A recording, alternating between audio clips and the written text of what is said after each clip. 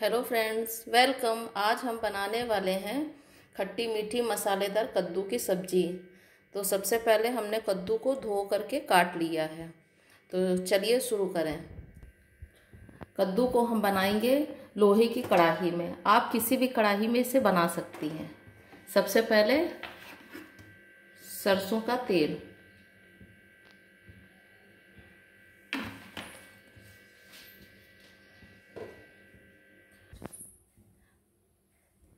तेल हमारा गर्म हो चुका है तो सबसे पहले इसमें हम डालेंगे पचफोरन।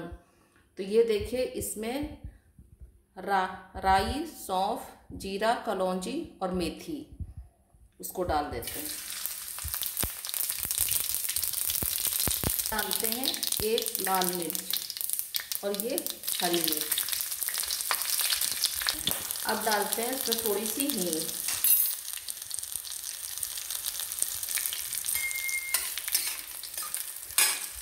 डाल देते हैं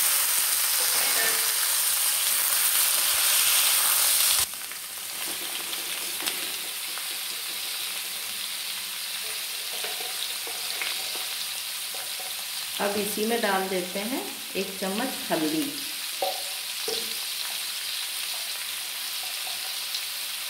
धनिया पाउडर, एक चम्मच।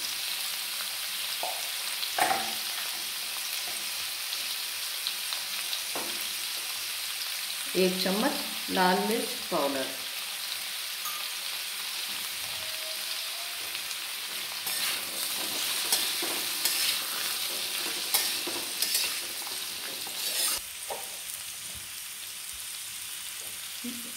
एक चम्मच नमक।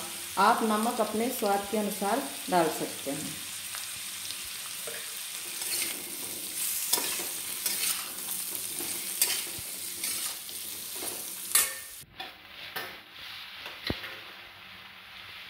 अब इसमें अब इसमें थोड़ा सा पानी ऐड कर देंगे, ताकि कद्दू हमारा अच्छी तरह से पक जाए।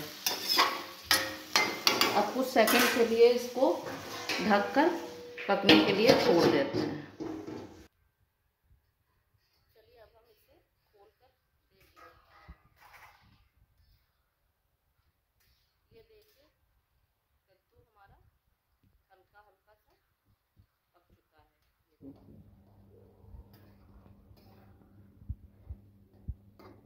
अब इसी में हम डाल देते हैं।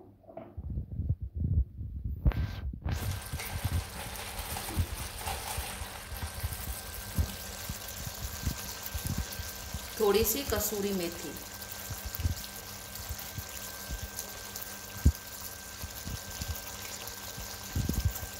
गरम मसाला, एक चम्मच। और इसे थोड़ा मीठा बनाने के लिए इसमें डाल देते हैं, ये कुटा हुआ गुड़, ये एक चम्मच।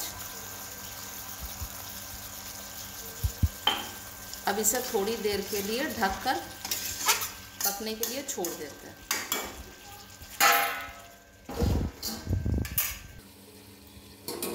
अब इसे हम खोलकर एक बार चेक कर लेते हैं।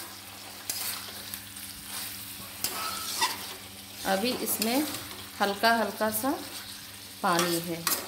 इसे जब तक पकाएँगे, जब तक ये अच्छी तरह से घुल ना जाए। अगर आप ग्रेवी वाला कद्दू चाहते हैं तो इसमें हल्का सा पानी भी इसमें ऐड कर सकते हैं। पर हम इसे सूखा ही बनाएँगे। वैसे तो आप किसी भी कढ़ाई में इसको बना सकते हैं, पर लोहे की कढ़ाई में बना हुआ कद्दू ज़्यादा टेस्टी लगता है। अब कद्दू हमारा ये अच्छी तरह से पक चुका है। अब हम इसमें डालेंगे अमचूर पाउडर।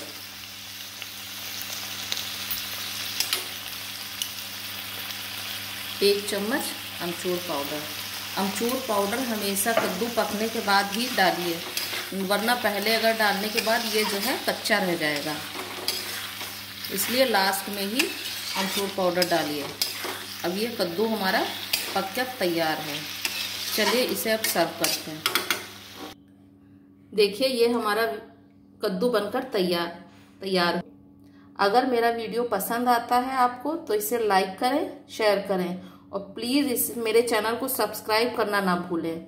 मिलते हैं फिर अगली वीडियो में। तब तक के लिए बाय